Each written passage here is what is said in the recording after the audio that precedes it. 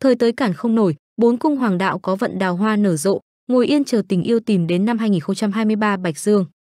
Trong nửa đầu năm 2023, nhờ được hành tinh tốt là sao mộc chiếu mệnh mà vận may của người thuộc cung Bạch Dương lên cao như điều gặp gió.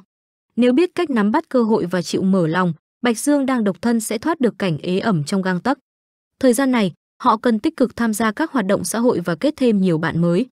Khoảng thời gian nửa cuối năm, chuyện tình cảm của những cặp đôi Bạch Dương sẽ diễn ra ổn định. Thậm chí, không ít người có thể tiến đến chuyện hôn nhân. Còn với những Bạch Dương đã chia tay, họ có thêm thời gian để nhìn lại bản thân, hiểu và thông cảm hơn cho đối phương để cả hai có thể dũng cảm yêu lại từ đầu. Kim Ngưu Đối với Kim Ngưu, vận đào hoa của họ sẽ đến vào khoảng cuối năm 2023 khi được sao mộc hỗ trợ. Nhờ vậy mà cung hoàng đạo này có thể nhanh chóng thoát khỏi kiếp độc thân.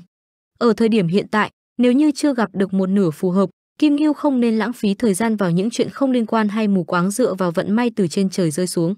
Khi thời cơ đến, cung hoàng đạo này có thể gặp được một người mới có sở thích, thói quen phù hợp với họ. Kim Ngưu sẽ có nhiều cơ hội tốt để gặp gỡ, làm quen và thuận lợi theo đuổi người mới.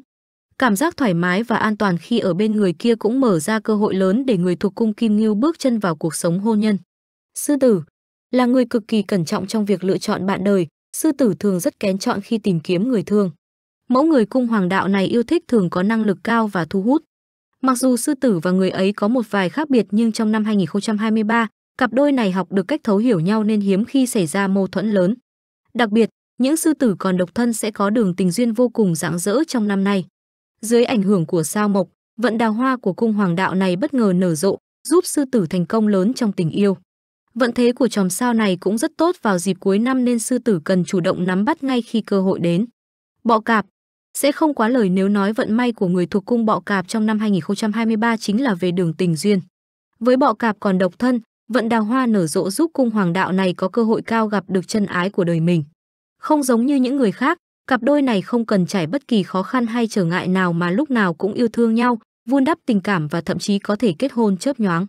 Với những bọ cạp đã có người yêu, đây là lúc để cả hai dành thời gian nhìn lại và tin tưởng nhiều hơn vào người kia. Họ có thể yên tâm vì dù chuyện gì xảy ra thì cả hai vẫn có được tiếng nói chung, cùng nhau giải quyết khó khăn và ngày một yêu thương nhau hơn. Thông tin trong bài mang tính tham khảo, chiêm nghiệm.